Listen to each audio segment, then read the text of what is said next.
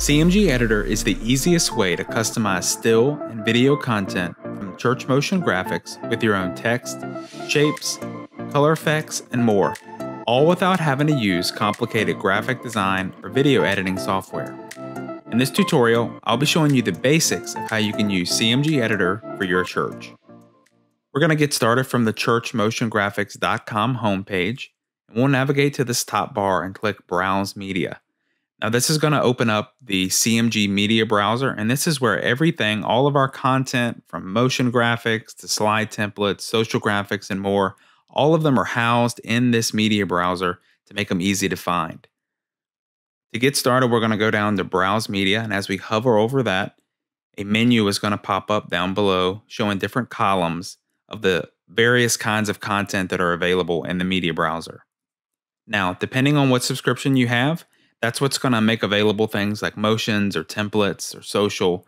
But since still backgrounds are available to everyone for free, we'll start with that. We'll go to the column for stills and click backgrounds. And you'll see that we have over 5,000 still backgrounds available to everyone for free. I'm going to choose to sort by trending, find a perfect graphic for us to start with. I like this Norwegian Tones view. As we click that, a preview window pops up. And you'll see right beneath the preview, there is an Open in CMG Editor option. Let's click that. A new CMG Editor window pops up, and our graphic is ready to start editing. There are lots of tabs here on the sides. Let's start at the bottom tab and just see what this powerful editor can do. I'm going to click the bottom one, which is the Transform tab. What I love about this is this graphic started as a 16.9, but say you had a 4.3 screen. You could easily crop, or maybe if you wanted to make a social graphic, you could change it to a square. Really, the possibilities are endless of what you can do with this. You can find the perfect size. Let's keep the size the way we had it, and let's go to the next tab, the Adjust tab. I love this because you can change things like brightness or the contrast and really customize the image to make it work for your specific use. I'm going to adjust the highlights, really find that perfect look for our church. Yeah, I like the way that looks. You can see that you have total control over this image. Let's go to the next tab up, and this is filters. I'm going to choose duotone, go with the style that's kind of already there, and try out a couple different options to see which color is going to work perfect for our church. I think I like the way this deep blue filter looks. So let's go with that. You can even adjust the filter intensity. Now we have a customized still background that's ready to use for our church. But say we want to take this graphic to the next level. Let's go up to the top tab and look at stickers.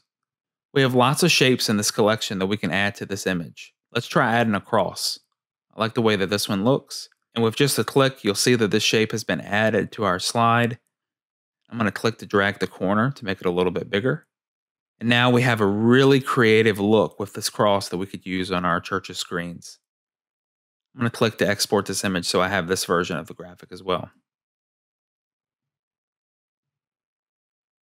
Yeah, that looks awesome. But let's try something else.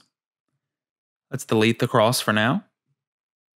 Let's go to this next tab the text tab. As I click into this, a new text box pops right up, and I'm going to double click this text box to edit it. Let's say something like, Welcome to our church. You'll see that it's automatically been added to this text box.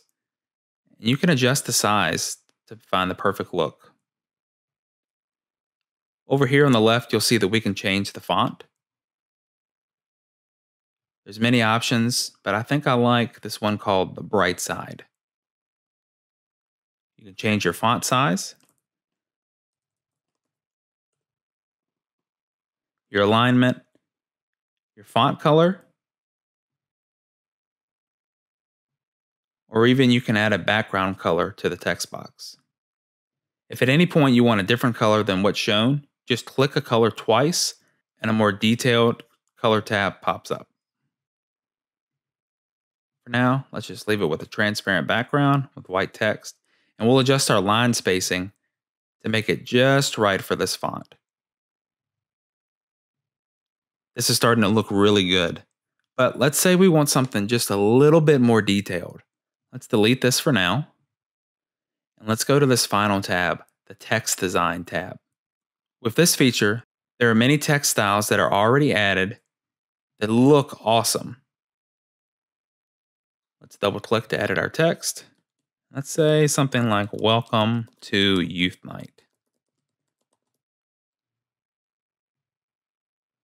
You'll see that it's been added and it also has a stylized look.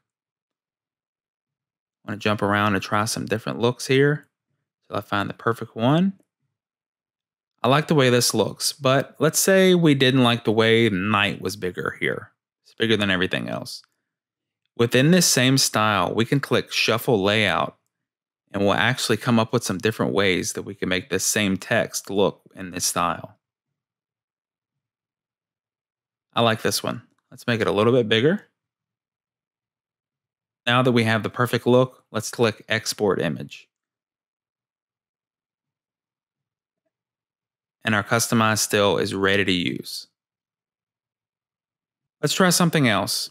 I'm done with this image for now, so I could click close to close this window, just exit out. Or if I wanted to come back later, I could just minimize it and have as many of those open as I need to. Let's go and try motions. Let's go to Browse Media, Motions, and click Backgrounds. There are many options here for motion backgrounds. We can find the perfect look for us. I think for now, let's try this Gradient Clouds 22. I really love those colors. Just like with the still, you'll see that we have an open in CMG editor link beneath. Click that. You'll see that our motion is popped up here in editor. Now, normally you would need complex video editing software to be able to do what we're about to do, but everything that we're showing you right now can actually be done all in your browser, which is really the power of CMG Editor. You won't see as many options when it comes to motions, but we can still add text, text designs, and stickers when we're editing motions, which is huge. You can create some really amazing looks with these tools. Using this text box, let's add something that we can use for our Wednesday night service. How about uh, welcome to Bible study?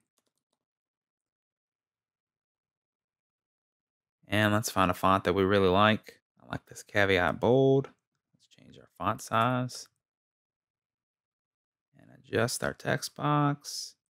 And again, I'm all about changing the line spacing to work with this unique font. I think that looks really good. And let's click export image once we have everything the way we like it. Now with the motion, it's a little bit different than a still. Again, this would normally require some heavy software to make this possible, but we're gonna click build motion to start rendering this video all within the browser. You don't need a fancy computer to make this happen. All of the rendering is actually happening on our site on CMG servers, so this can really be done on any kind of computer. You'll see that a progress bar has popped up letting us know how the rendering is going. And once that's complete, a download button pops up, and we're going to click to download our new motion. It looks awesome and is ready to use on our church's screens. Hopefully you can see the power of CMG Editor now that you know the basics. Again, you can use CMG Editor absolutely for free on any of our still backgrounds, or if you have a CMG subscription, you can add it to things like motions and social graphics and templates. It's really an amazing tool to have. We cannot wait to see how you use it at your church.